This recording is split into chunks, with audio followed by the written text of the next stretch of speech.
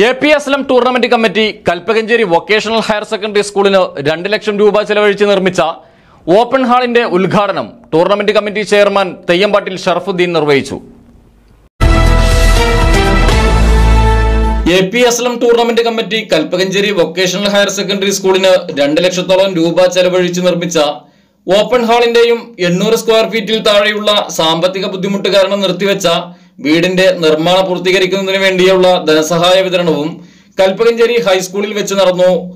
Open ഹാളിന്റെ ഉദ്ഘാടനം tournament committee chairman Thayyampattil ഷറഫുദ്ദീനും സഹായ വിതരണം Kalpakanchery police sub inspector Das നിർവഹിച്ചു. ചടങ്ങിൽ ടൂർണമെന്റ് കമ്മിറ്റി രക്ഷാധികാരികളായ കോട്ടയിൽ Latheef P T Kunhu Muhammad master Parayil Moideenkutty Abdulla Koyathangal C P Radhakrishnan tournament കോർഡിനേറ്റർമാരായ Latheef Kalpakanchery Sayyid Hasan Thangal treasurer Thayyampattil Razak school H M Sini teacher P T A president A P Musthafa തുടങ്ങിയവർ സംസാരിച്ചു. News desk Media Times. നമ്മുടെ ഹുബൂസ്. അത് നമ്മുടെ ഗൾഫിൽ കിട്ടുണ്ടായിരുന്ന കുബൂസില്ലേ? നിനക്കിഷ്ടപ്പെട്ട ആ കുബൂസ്.